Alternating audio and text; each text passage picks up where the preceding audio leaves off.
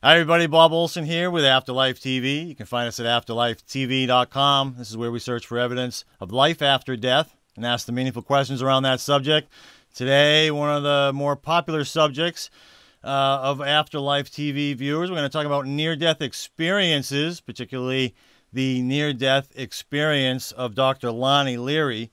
Uh, for those of you who are longtime fans of Afterlife TV, you might recognize uh, Lani. She we interviewed her uh, the first time. I don't know how long ago that was, but um, about this particular book and the work that she does.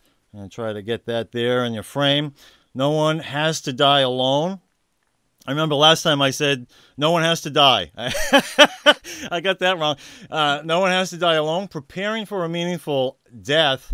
Uh, you know, this book is this book really is for everyone, and and and the reason is because each one of us is going to die. Each one of us knows someone who's going to die. Uh, we may actually experience the the dying process with some of those people, and uh, in an, half the book is about uh, that process. And I'm gonna the part one of it is a part one and a part two. And part one, I think this is important. That's why I'm saying it is about making a difference through illness, dying, and death. And then part two is after the person has passed, making a difference through bereavement. This book covers it all. Uh, I recommended last time that everybody go out, grab a book, read it, buy a copy for every one of their loved ones. And some people actually did that and said what a difference it made. It brought up this conversation about death and dying. So we're going to welcome her back. Dr. Lani Leary, thanks for coming back to Afterlife TV. Thank you. My pleasure to be with you. I'll tell you, you know, I remember, you know, last time it was towards the end uh, of the interview, and I said, you know, we got to bring you back and talk about your near-death experience, and and here we are, we're doing that finally. Love it. Yeah. Yes. I'm excited about it. Um, tell us a little bit about your background, a little bit about your work. Uh, well, I think I talked about it a little bit in the first interview. Um, I do this work. Um, I was led to this work early because my mother died when I was 13. And it was such a profound and life changing experience for me. And the grief was so um, overwhelming and unanswered that in order to cope, I had to find some meaning. I had to make meaning out of it. And so I vowed, I remember clearly at the age of 13, saying to myself that something good was going to come of this. And so I spent, um, you know, my formative years learning everything that I could about death, dying, and grief in order to understand my own process, but also to be able to pass that on and touch others so that their the dying would be different and the grief would be different. I never wanted anyone else to feel the kind of um, profound confusion and despair that I did as I was grieving. Um, so I did go uh, back to graduate school and uh, earned my PhD in uh, counseling and psychology, and specifically did all my work around death and dying. And then uh, developed a um, program in death studies and taught that, and have uh, really I've been taught by thousands of others as they were dying what was important to them. So I worked in um, nine hospices across the United States and was with patients um, and their families as they were going um, through that transition. And they they were really um, my teachers, my mentors, um, showing me being so generous, really, and letting me into the most intimate and vulnerable time of their life. And um, I pass on what they taught me. Yeah. Mm-hmm. And, and uh, what I love about this, because uh, we'll transition into telling us about your near-death experience, and and it sort of comes full circle right back to where you just started, because the near-death experience then really allowed you to connect with these people um, as yes. as they were going through the dying process in a way that if you had not had it, you wouldn't have been able to connect with a lot of them, right?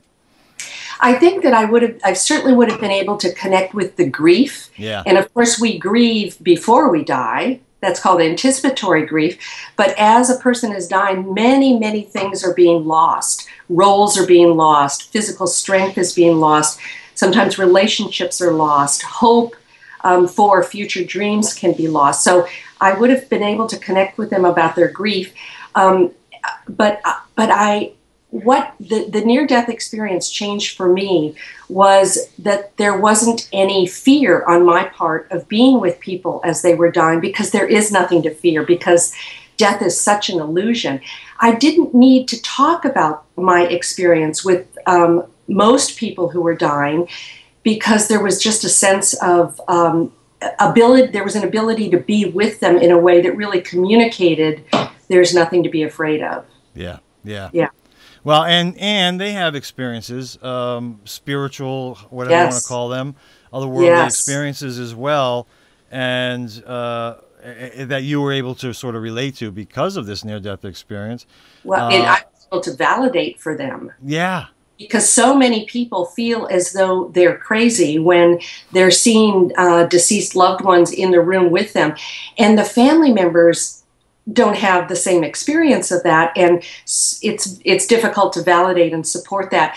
And uh, to be able to be told um, of course they're here for you. Yeah. Of course you're seeing them um, is one of the most comforting things in the world for a person who's dying. But also afterward i was able to have conversations with people who were grieving the, the death of their loved one. And I would ask open, um, direct questions such as, have you had an experience of your loved ones since they've died?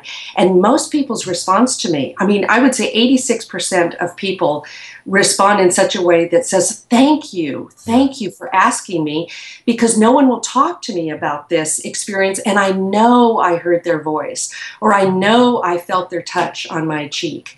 And um, again, to be able to validate for that person is one of the most comforting, calming, reassuring things that we can do for someone who's in grief. Yeah. And, and, nowadays, you know, it's I think I think there's more and more people who are opening up to this sort of thing, and and a little bit have greater awareness, more doctors and nurses and that sort of thing. But yes. but how long have you been doing this work? Oh, 30 years. Yeah, so you've seen it when, boy, I mean, it was a little bit taboo to even discuss it, right? Oh, it was very taboo. And you can imagine being, you know, a uh, psychologist and a professor and talking about these experiences was, it was pretty risky in the early days. I, I, had to be very careful of, uh, you know, really discern who was uh, ready or open to exploring this. Yeah, that's mm-hmm. right. I was just reading recently uh, a, a, little bit about Dr. Elisabeth Kübler-Ross and her experience, and yes, and and how uh, she actually wanted to talk about um, an experience that she had uh, that in, in, the in the back of her famous book on death and dying, and that you know she was talked out of it um, oh, because yeah. she figured nobody would ever publish it if if she had right? And when she did speak about it, she was very discredited. And and, and, and you know, I, it was funny because they were talking about like this was the fall of doctor mm-hmm. Elisabeth Kübler-Ross. Exactly. You know, I never thought of it that way. You know, I was like, man, this woman has courage. I never thought of it that way, but from an academic place and, and, and, and certainly in terms of science and everything, I can see how that was their view of it, right? Yes, yes. Yeah, yes. and you and you you were probably much more aware of it. Uh, you were aware of it, you know, while this stuff was going on. I imagine. I was aware of what? Uh, what what was going on with her at that time? I mean, you were probably more aware of it than I I certainly was. Oh yeah, in fact, I was down in one of the hospices um, in Virginia when she was there, and it, it yeah, I mean, people were. Uh, she was trying to do very very important work with children with AIDS, and um, she was you know, they wanted to boot her out of town. Ah, it was very sad. Mm-hmm. Well, here we are, um, a little a less risky, yeah. living in a less risky time for you to be able to tell your story. Uh, eh, let's do it. Um, I know this all started with a dentist visit. Who, who knew, right? Who could have yes. expected that? A dentist visit. Tell us, tell us about your near-death experience, how it started, and what took place. Yeah. Well, I was going for a routine um, dental procedure, and um, I was uh, almost 29 years old, happily married, and had a beautiful um, two and a half year old baby. And just took myself to the dentist for a regular procedure, and I was in the dentist chair and given nitrous oxide, laughing gas. Yep. And uh, the first the first thing I knew, I was lying back in the dentist chair, and the next thing I knew, I was up in the corner of the room, looking down at my inert body, and I felt no fear. I felt no anxiety. Um, and as I looked at my body, I really felt a fondness for it. I, I knew this body, but I knew that I was not that body. And um, I felt no, uh, I felt a, an old familiarity with it, but as though it was ready to be tossed off and go to the Salvation Army. Wow. It was well, it was well used and well loved. Um, but I didn't need it back. I didn't want it back. But the, the dentist was frantically working on me, and I was trying to communicate. I was trying to talk to the dentist. The yeah. dentist didn't hear me. And um, I, I just looked at my body with kind of a, a, a fond detachment. And I had no sense of time, so I don't know how long I was up there in the corner of the room. Yeah. But the next thing that I was aware of was that I was entering a tunnel and my mother, who had been dead for 15 years, was right at the entrance to the tunnel with her arms out. Oh. And she was whole and she was beautiful, vibrant, and uh, healed.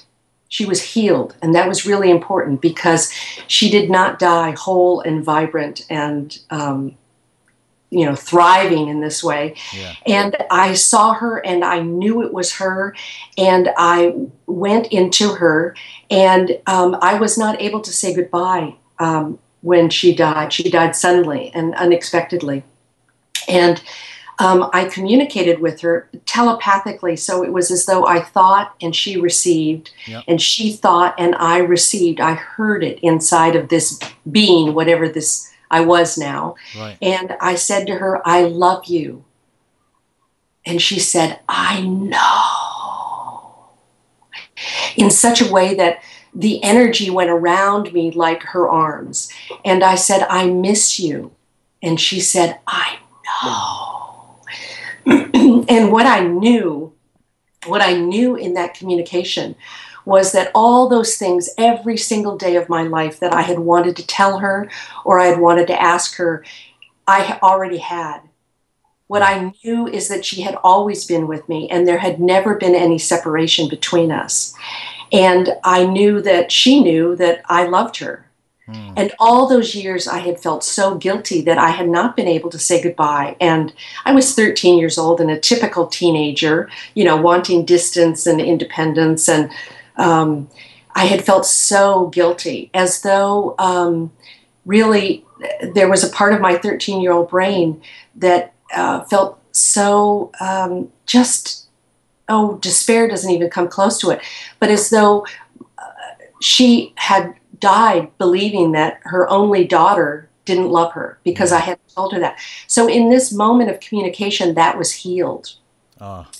And I knew that she would always be with me. And I still know that. I know that now. I know she's right here. So the next thing um, I was aware of was that I was going into this tunnel, and I had to go to this through this tunnel because the I could see a speck of light, and it was as though I was a magnet, and I was drawn to this light. There was no question that I was going toward it, and I was in this tunnel that was so beautiful and magnificent.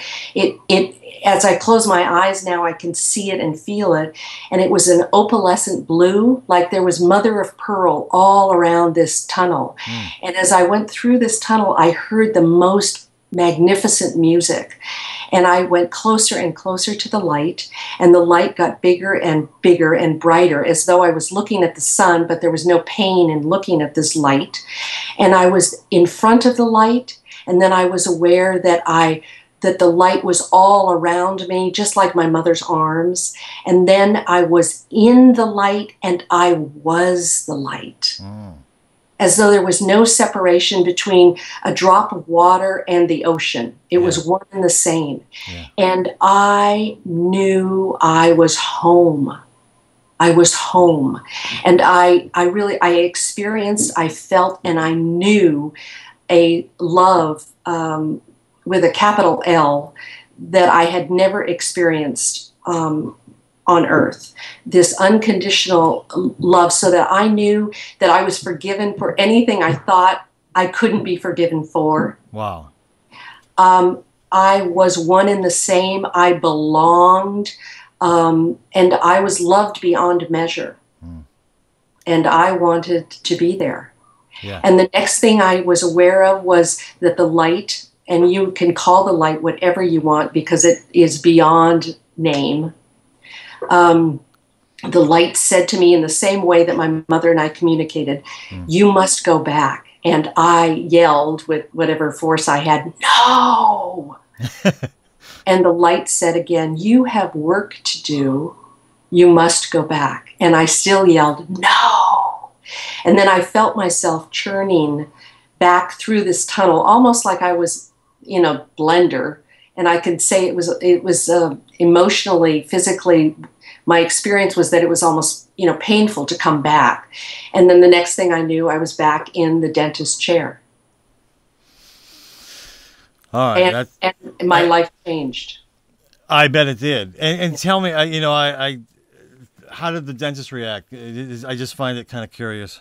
Yeah, well, this was uh, back in you know 1981, 82, and um, uh, the dentist. I, I, think that the dentist believe we didn't talk about it. The dentist believed that he had resuscitated me. That's fine, um, and he just wanted to make sure that I, I, I was able to drive home. Yeah, and I did. yeah. I, am not sure he had ever had that experience before, and certainly I hadn't. I'd never spoken with anyone who had that experience. I didn't have the language, right? And so I didn't talk about it for years and years afterward. Although my husband knew immediately that something had happened to me. Oh, he did. How, how did he uh, know? I don't know. Just by oh, he just knew. He, uh, something had shifted. Something had. Well, yeah. And, yeah. and and some things had changed for you in terms of uh, there were things about your life that you just decided to do differently? I'm, I'm not even sure I decided. I just knew they had to be different. in, in, the same way that I had to go toward the light. Um, my life was going to be different, though I didn't really understand how. You know, I had received this message that I had work to do. I didn't have a clue what that meant. Yeah. And there was a there was a sense when I got back of of of um,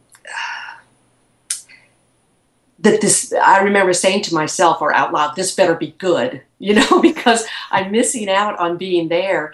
And it, it wasn't that i didn't want to be here and certainly uh, it wasn't that i didn't want to be with my family my child my husband um, but i didn't know what could be more important than being in the midst of that love. Yeah. And so when I came back, it was shortly, uh, it was a couple months afterward that I remember clearly um, reading the morning newspaper, turning the page, and seeing a full page article about hospice. And the word or again the energy just came up off the page and it was a big yes. And i knew instantly that that's what i was to do. Mm. and i took myself into a local hospice and said um, i am to work here. And i've been i've been doing that work ever since. Really? And how do they respond? You know i, I it, there are people um, who are there um, always in our path to um, help us do what we're to do. And when I took myself in, the hospice nurse that interviewed me, she made it happen. I, yeah. I don't understand. Uh-huh. Well, it sort of goes along. You know, people you can call it intuition, your gut gut mm-hmm. feeling, whatever. When you follow that, life just seems to flow, doesn't it? It does. It does. When you really listen to that voice inside.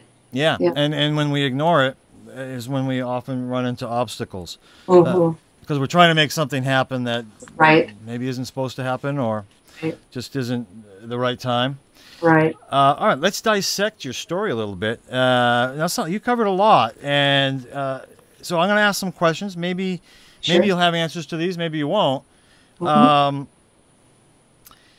but what I love, you know, what I love about your particular near-death experience is it has all the elements of your typical near-death experience, right? I mean, there was hovering in the seal over the ceiling, going through the tunnel, you know, being greeted by loved ones on the other side. It had, a lot of a lot of the typical stages, and yet with any near-death experiences, uh, there near-death experience, each one is different. You know, each one is unique in itself, yes. and yes. a lot of it, I think, you know, has to do with your own interpretation and your own interpretation is based on your belief systems you know you know all this sort of thing what you're expecting to happen and you know maybe it's a little bit of a shock to you that you're even there um, but uh, each person seems to be a little different for whatever that really reason that reason really is and and so I like to sort of ask some of the same questions to people uh, in these interviews to sort of find out what their answer would be to it. Now you know, so often we all hear about hovering hovering up at, at the ceiling. We now yeah. you didn't actually did you experience leaving your body? It sounds like you just were there. Mm-hmm. Right. So that's an important point. Um, I did not experience any of the trauma of my heart stopping. Yeah. I think that's a really important piece. And when I work with people in, in particularly hospice, but when I work with people, when I work with the families of people who are dying, yeah. it is important to know that what we see and experience of, a, of our loved one perhaps even the death rattle or um, looking as though they're agitated. What we see is not necessarily what they experience. And that's a really important point because I experience no pain, no anxiety, no trauma in the moment of death. Right. And it's not even, you know, there's no part of that that's a memory for me. Yeah. And the other thing that's ex- important is yes, I was still in the room after my heart stopped. Right. And so I try to keep the room of the person who's dying very serene. Yep. Um, I want to say low drama, um, but just really a very sacred space and to um, continue to uh, relate and connect with the loved one. And so to talk to the person as though they're still in the room. Yeah, right. Because I was in the room. And then the other thing is that is the the thing uh, that I didn't have a an ownership of my body. Hmm. It was just a vehicle. It was an old car. Yeah. You know, yeah. and I I'm grateful for the body that I inhabited and I used it well, but it's not who I was. Yeah. It's not who I am now. Yeah, and, and what's interesting is, you know, I mean, you're only 29 years old, so and you you sort of referred to it earlier about you know sort of being you know worn out, like kind of like right. Yeah. Uh, it had been through a lot. Obviously, it had been through a lot, but that was the way you're perceiving it as mm-hmm. you know, boy, this this body's been through a lot, right? Yeah, and and really, oh, how different it would be uh, for us as loved ones to look at this body and just to be grateful for it. Yeah. And and I want to say that's that's what the deceased are also feeling. Yeah. Just thank you, thank you, and what a, how different we can make that experience if we come at it from that perspective. That's right. It's beautiful. It's beautiful, and and and and even as you're observing it, like you said, you're you're observing you know the body's going through something. He, the doctor, the dentist is trying to resuscitate you. You know, you, but you're not feeling any of that. I'm not you, feeling it. The spirit has left the body, um, and and not experienced any of this. And oh, sorry. So you're so you're hovering up at the ceiling, and we hear this all the time up at the ceiling. Uh, so many times I hear they're in the corner of the room were you in the corner? Were you, whereabouts were you in the ceiling? My experience was that, that I was up in the corner of the room. Oh, yeah, but, and I hear yeah. this. I don't know why that is, but whatever. Um, who knows? Yeah. One of those question, questions we might never have answered. But you're up there. Uh, I know that you explained how you felt about your body.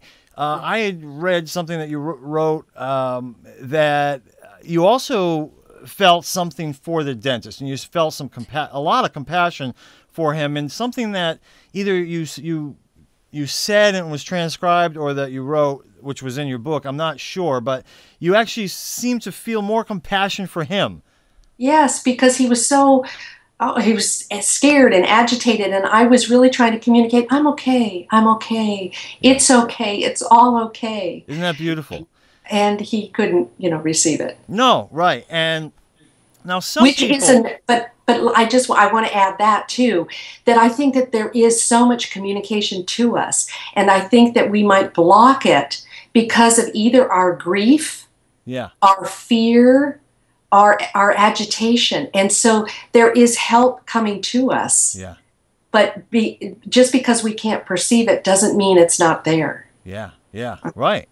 Uh, all right. So no fear at all during this this No. hovering experience. No fear and no shock, Bob. So you had used the word shock. I felt Yeah. no shock that I was there. I felt more of a wonder that and and uh, again gratitude and this is so beautiful and really almost kind of an adventure Yeah. like wow i get to go to europe for the first time yeah. I love that. Um, well, this is, I mean, great. I mean, a wonderful, peaceful experience. And then there's that transition to the tunnel. Now, how about that? Uh, just like you explained about your body, you just seemed to be at, at the in the corner of the ceiling. Uh, how about the transition to the tunnel? Was there any kind of uh transition experience, or were you just sort of there? I, I yes, I was aware. I was there, and I was at the you know the. It, it felt to me like the entrance of the tunnel, and my mother was right at the entrance of the tunnel to catch me. It felt like she was there to catch me, as though her arms were open wide, and it was a peaceful landing, I might say. Yeah. Um, but you know, right into the bosom of your mother. You know, um, what else could you? What else could I? It was so clearly um, a healing moment for me Yeah. um, what I had needed for all those years. Oh, definitely. Uh, definitely. And and you tell a great story in your book about one of the last confrontations, uh, confrontations, one of the conf- confrontations, but one of the last interactions that you had with your mother. Yeah. Um, and you know, uh, it, it wasn't the most positive thing that you did uh, in terms of human perspective. Uh, Yes. obviously, we know from her spiritual perspective, it, she wasn't worried about it at all. But for the healing benefit to have this experience and, and, and to be able to communicate with her in the way that you did is amazing. Now, one of the things I love, and uh, our audience who are familiar with other videos, uh, interviews that I've done, I, I talk a, a lot about sometimes the past life experience. Um, if you've had a regression and you go through a past life, and one of the things that I've uh, always remembered, and it was amazing to me, was that we have uh, we have this we gain this knowing and so even when i'm telling the regressionist about something that is taking place uh, there's so much more that i'm aware of and in your particular case you're talking about you know your mother you, you said three things to her and three times she just said i know to you and yet there was so much more communication around Yes. that right Yes, I, I really felt as though I was downloaded with a wisdom that I can't even put into words. Yeah. And I felt that same way, um, downloaded with um, love and wisdom in the presence of this light. you knew all that, that you needed to know from her I did, and I, I still, I still do. Um, uh, it, and it has, it- it's distilled into a presence rather than even a language. Yeah, yeah. Mhm. Oh, I love the sound of the bird in the background. Oh, it's beautiful, and the luscious uh, greenery behind you. I should let everybody know. I'm sitting with two feet of snow outside my door here in Maine, and you're in Hawaii. Right. We can see I'm what in it's like heaven. there. Yes. the contrast Uh-huh. um, of life. Well, this is beautiful. So uh, now you're in the tunnel. You you've had this experience with your mom. You, I know that um, when it was time to leave her, I know from other things that you somehow were ready to let her go. Talk talk about that and how, like, how can you explain that? Well, yeah, it, it, now that I would say is still surprising, and it's surprising to my ego, my personality, even now, because before I had this experience, if someone had said to me, "If you could have any miracle in your life, what would it be?" and it would be to see my mother again, and if they said to me, "Well, what would you say to her if you had this opportunity?" Uh, my response would be, "Well, you know, do I have 15 years because I have 15 years worth of questions and." Experiences I want to share with her. I want to tell her about my first date and my marriage and my child. And yeah. I mean, so many, so many questions. So um, it's so surprising to me that when I did have the opportunity to be with her and to say anything, to ask anything, that I really only needed to say three things. And that was from the soul level, I think, not from the personality level, because again, what was downloaded was this wisdom of everything that you've needed to ask has been answered. Yeah. Everything that you've needed to know, you already know. Everything that you need to have confirmed is confirmed. That that kind of uh, that kind of deep knowing. Um, so uh, yes, it, it it took three exchanges to get what I needed. And then I what I knew is that to let go of my mother is that's an illusion that that uh, she was she had always been with me. She would always be with me. Um, and so yes it was just easy to let go. I, I yeah because it wasn't a letting not, go. that's not quite even a, uh, a, the accurate way to say it but yeah yeah I, I went to the light because I was pulled toward the light because I had to go. Yeah, yeah. Mm-hmm. All right. Uh, well, that's so. Let's go there. So interesting. Something else. Uh, you had given a talk once uh, for IANDS, right? Mm-hmm. Was that who it was for? And they transcribed it. Yes. It, they, you were telling the story, and you were talking about um, you were kind of going head first down this tunnel. It, that's what it felt like. Okay, and and, and can you describe that? Because you know, at least my mind, and I imagine other people, you know, you're kind of like you're like this, and uh, like you're just sort of hovering through, through this tunnel. I'm sure right. it wasn't like that. Right. It's kind of like the Olympic toboggan experience of. Um, uh, it, it, it, it, you know, it, it maybe is a better um, way of describing it, saying it, the, the orientation was. Yeah. Uh huh. Okay. Uh-huh. Because, because really, you're being of light I, now. I wouldn't say that I had a body. I didn't have a body. I had a, I had a perspective. I had an orientation. Um, yeah. Mm. Okay. That mm. and, and, which is great. I mean, okay. I'm glad I asked that question because that explains a lot to us. Um, you're being drawn to it. You know. Mm-hmm. Um, a lot of people worry about, you know, someone passes. This is sort of a little bit of a traumatic event. This was, I mean, we don't know for sure, right? But you, are assuming you were allergic to the gas that you were given. That's what I'm assuming. I, in my youth, I had never smoked. I never drank. I never took drugs. I didn't even take aspirin. I, I do not think it was the dentist's, you know, error. Yeah. Um, I had this uh, shock reaction. I think my body just went, "Whoa, what is this?" You yeah. Know? Right. Mm. So you have so you have this experience, but some people worry about you know this um, the the inability, you know, this maybe getting lost or you know those sorts of things that people talk about. Your case and and many others that I've talked with who have had near death experiences, it's you you don't need a map. No. You know, you're just drawn in yes. the direction that you're supposed to go. Yeah, you know, and actually that's a that's a really good um, metaphor because we don't need a map. We just need to follow our heart. So the I I would say that the magnet was kind of heart to heart. Yeah. Yeah. Yeah, that's beautiful.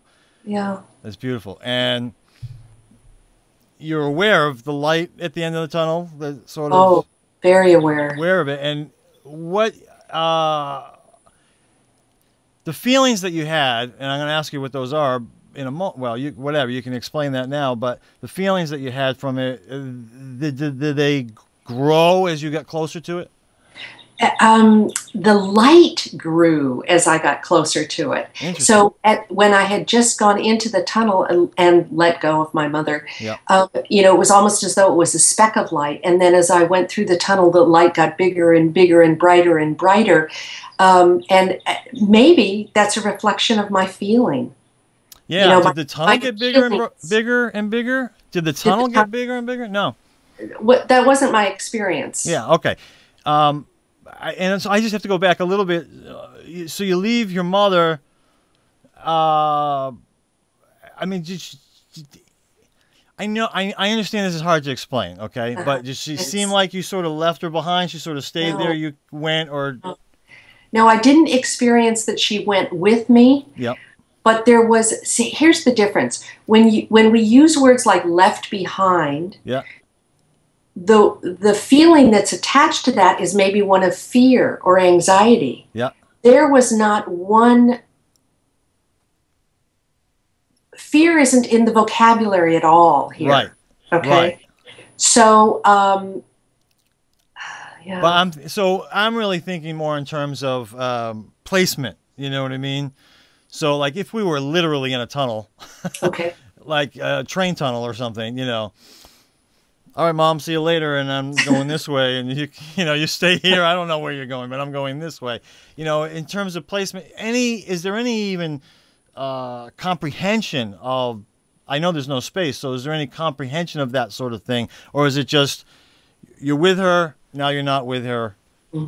It's it's uh, the best way I can describe it is just an awareness. I, I was aware I was with my mother, Yeah. and the next thing I was aware I was moving through the tunnel, Yep. and the next thing I was aware that I was in this light and Okay. of the same energy as this light. All right. Uh-huh. So that's where my focus is. You see? Yeah, and thank you for indulging me in all these silly questions. Oh, I don't think they're silly at all. I think we're all trying to, you know, uh, explore and, and make meaning of it. Um, I know that you're at first you're you're you're in the arms of your mom, right? You're you're, you're in the arms of her. Mm. Was did that feeling ever go away? No, I, I, I no, uh, it, it is, you know, when people talk about going to their safe place, Yeah, yeah, or they're meditating, Yeah. I can close my eyes and go right back to Yeah. that experience. I can see it, I can feel it. Uh, it is so experiential, and uh, it, and uh, so I'm in the arms of my mother, and I can feel that, and then I can feel being in the light, yeah. and it's I It- love that. I love it because uh, everybody agrees it's the same thing. In their mind, they can just sort of go right back there. You know, it's that dream you had last night. You know, mhm. it, it's you know if you had it 30 years ago it's just like you had it last night sort of thing um you so the light you know some people would call it god and source and we have all kinds of possible names you say it doesn't matter whatever you want to call it it's right you call it the light and you said at first it, at first it was spatially in front of you and then it was all around you and then you were within it Mhm. uh, I, I'm, there's not much more else you can say about that, is there? No, if, if you could imagine diving into the ocean and becoming liquid, Yeah. there it, it, it's as though my skin didn't, you know, there was no separation between my my my water skin and and it. There was just no separation. Can you imagine? No separation. Oh. I, I, I, boy, words just really limit uh, limit me. But yeah. um, the experience of being immersed in love. So, yes, you know, sometimes I'll call it light, sometimes I'll call it's liquid love, but it's pure bliss. Doesn't even come close to it. Um, Yeah. It, but it's it's a tangible. Uh, I can feel it. Eh, and maybe one of the um, biggest challenges, probably for us humans, uh, as physical beings, is the rea- is not understanding the reality that we're we're we are that anyways. We're part Yes. of that anyways all the time, but we can't Right. feel it the way you felt it. Wouldn't you say that's one of the greatest challenges of the human condition, the human experience? The human, the uh, yes, I think one of the greatest challenges is not believing this illusion. Yeah, yeah, that yeah. we are that we are limited that we are separate you know that that's the illusion that we are not loved that we are not worthy and accepted um, to have uh, even a momentary experience of the illusion dropping, the separation dropping, and to really feel, even for a moment, how overwhelmingly loved we are um, changes you. When you're in the tunnel, you described it as uh, like a robin's egg blue. Is this? Is it? Yeah. And you said it was opaque. So I'm. Is this sort No, of translucent, It's it was not opaque. It was opalescent. opalescent? If you can imagine this kind of sparkly mother of pearl blue, Mm. beautiful. Beautiful. And does it seem to go on and on and on type of a thing, or is there there is a, is there it's like a wall type of thing? Silly questions. Well, no, you want to experience it. I understand. Um, I didn't touch it. I Yeah. just, yeah. Was there a smell to it? Was there a smell, an odor? No, you know, I didn't smell. I didn't. I didn't have that s- that sense open Yep. to me. Mhm. Yep. But I did hear, Right.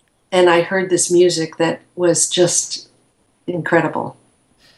Um, and this is where you heard the music, or did the music continue throughout the whole thing? Um, I was. I, I would say I was aware of it in the tunnel.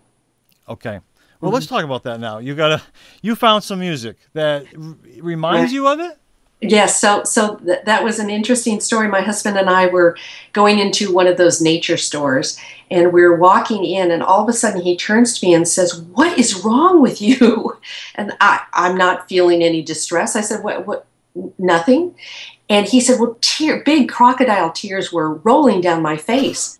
So I paused for a moment, and I listened, and I heard this music and it, it had just washed over me and you know triggered this response. Yeah. and i went up to the counter and i said what is that music? And uh, sh- she told me i bought it and i have been using it ever since for the past 30 years. Um, at, when i work with dying patients when i'm doing some calming and healing exercises with them and so, not surprisingly the music is called angels of comfort All right. So something just occurred to me. So we were going to play it, and I just I just realized I put these on YouTube, and YouTube is like really against playing anybody else's music. Okay, you have to Oh, have all kinds of rights and stuff. Let's just tell people how how they could find this. They could probably go on iTunes or something like that. So it's called what's it called It- again? it's called Angels of Comfort, and the artist, I'm probably going to butcher his name, so uh, forgiveness, please, but it's Iasos, which is spelled I A S O S. And I, I, I, I'm so sorry that we can't play this in the Me background too. because it is Uh, so enveloping and uh, almost as though you could just fall right into it.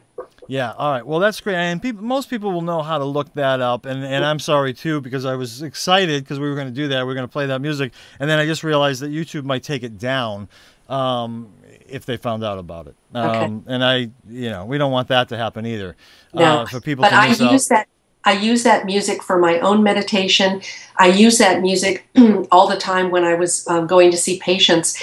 And uh, just as an example, um, I was working in a pediatric hospice in Virginia, and uh, I would see uh, children, and I would get calls in the middle of the night from mom who would say, you know, Donald is in excruciating pain. Can you get here?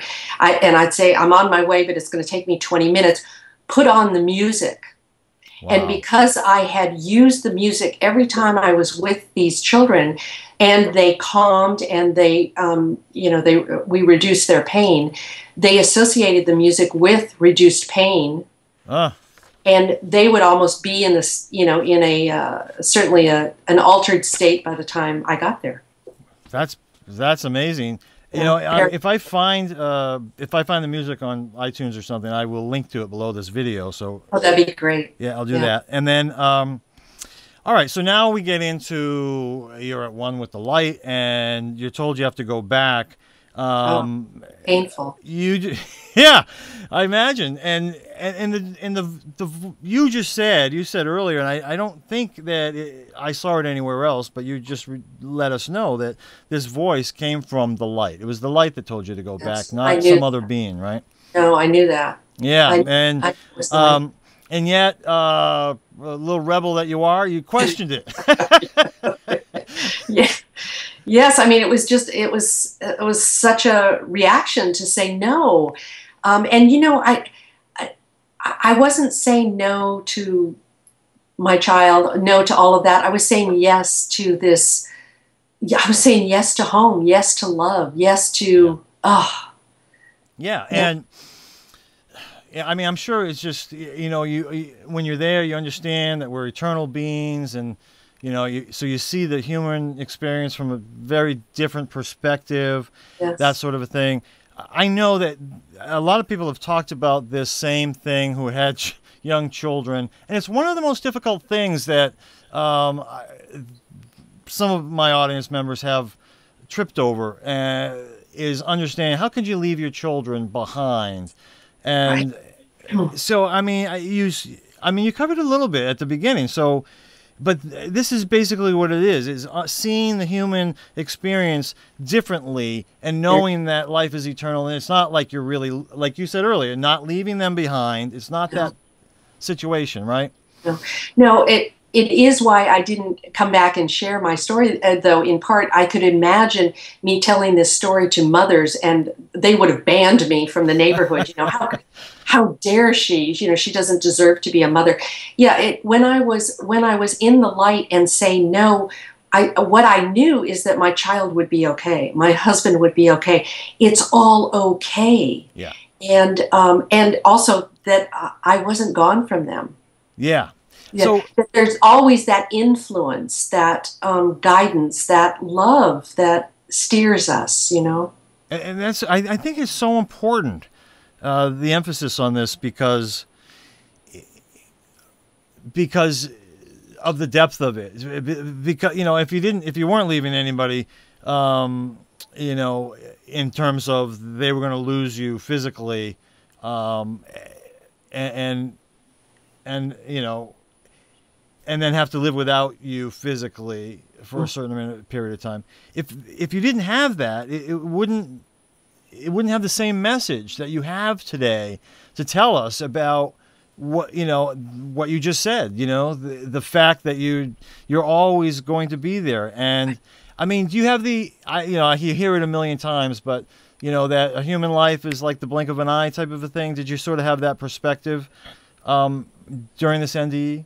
I, I think I did, and and the and the awareness of how important it is to use this time that we're given. Yeah.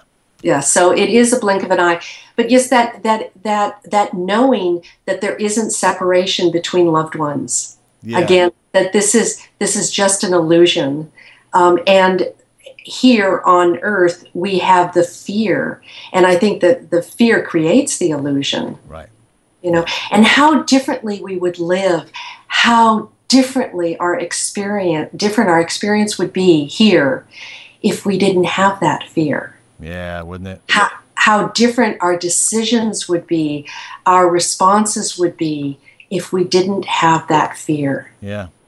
Yeah. Yeah.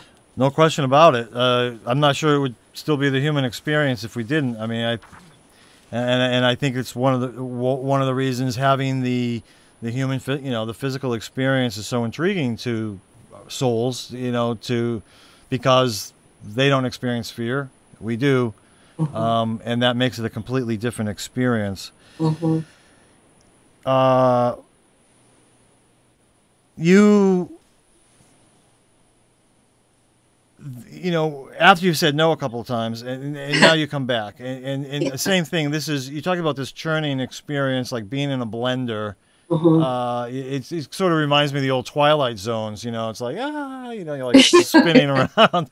Next thing you know, you're in your body. Uh, any more to say about that, or is it just it's very obvious, very fast experience? Boom, you're back in your body yeah, I was aware that it was a fast experience, and um, again, you know, with limited words, yeah. uh, the best I can put it is feeling as though I was churning.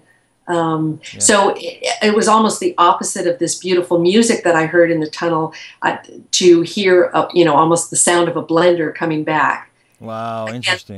Again, again, that may be my interpretation, but it was how I experienced it. Uh-huh.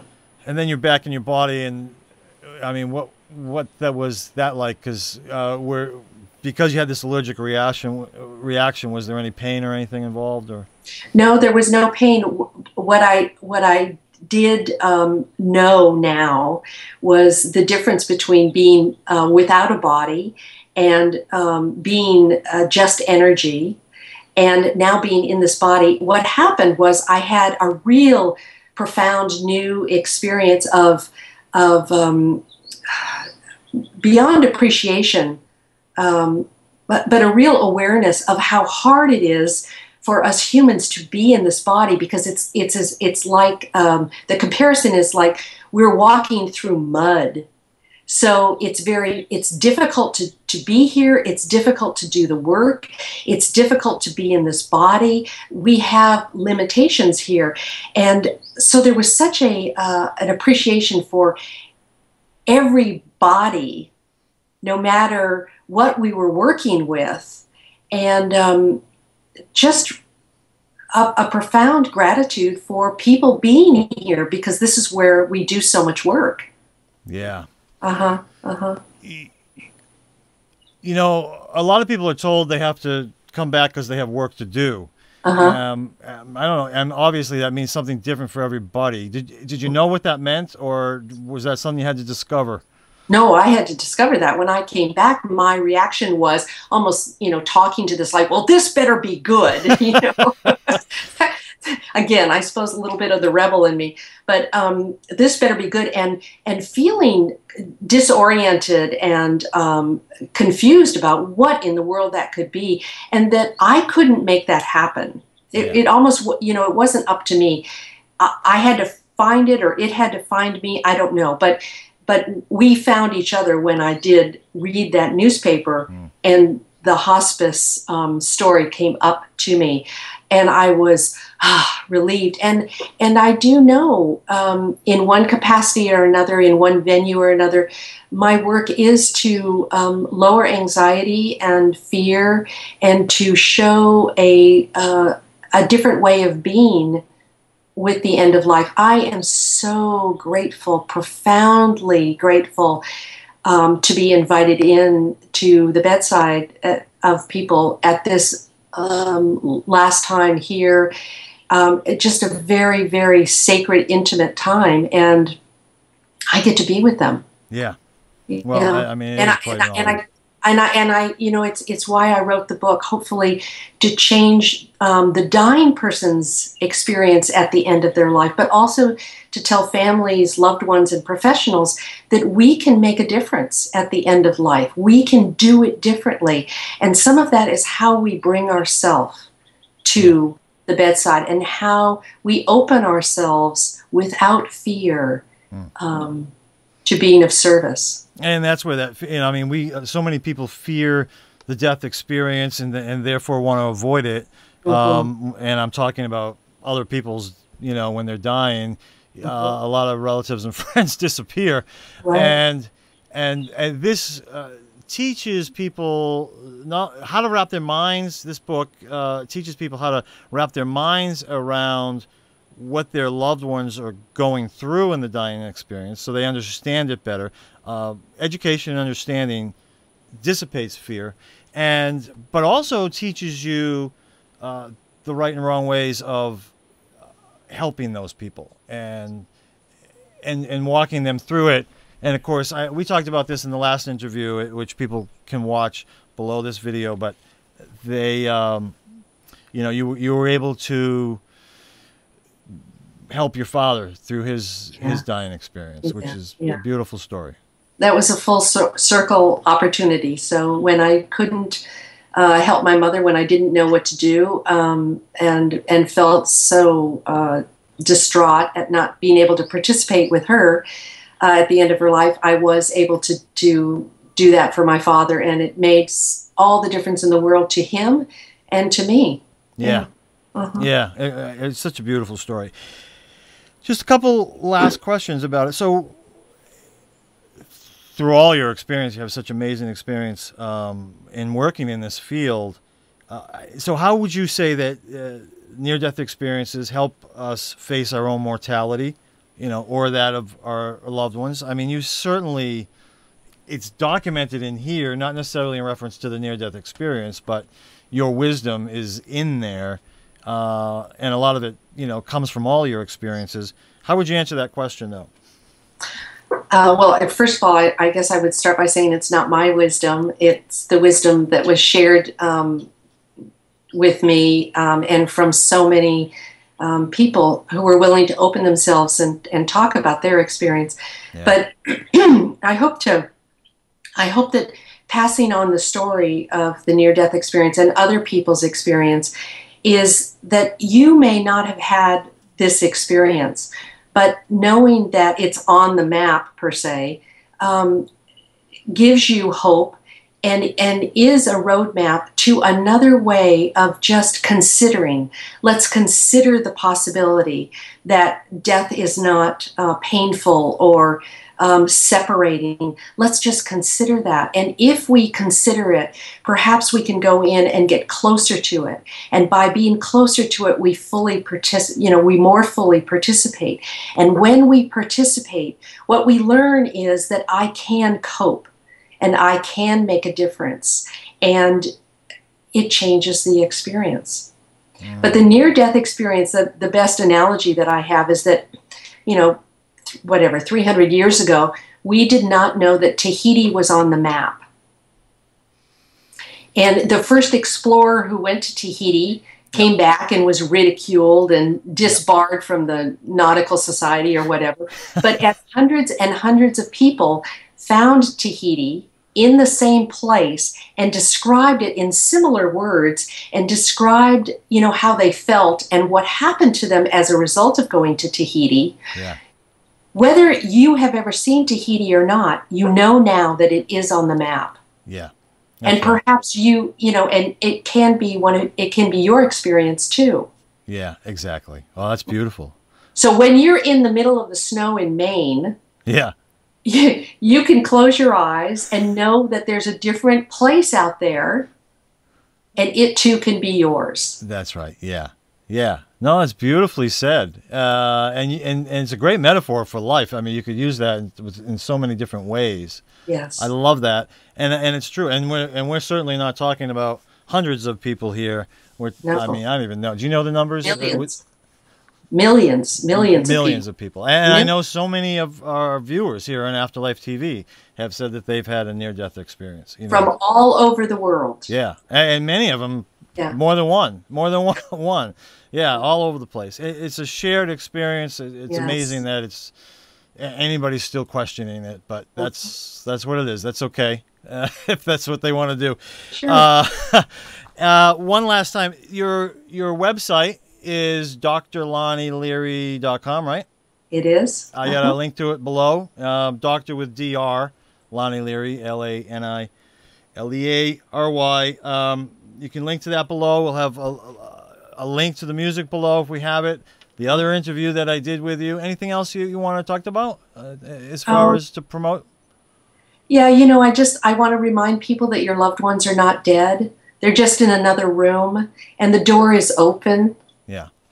Yeah. Yeah. Yeah. No, that that's true. Uh, again, I recommend everybody read a book. No one has to die alone. Okay. One last look at it there. Uh, sharing your experience with us is just amazing. Uh, I know a lot of people are going to uh, love it and want to watch it more than once. Uh, grateful to you for, for doing that with us. Thank you so much. And grateful to you. All right. Uh, Thanks. You take care of yourself, Lani. Aloha. Bye. Bye.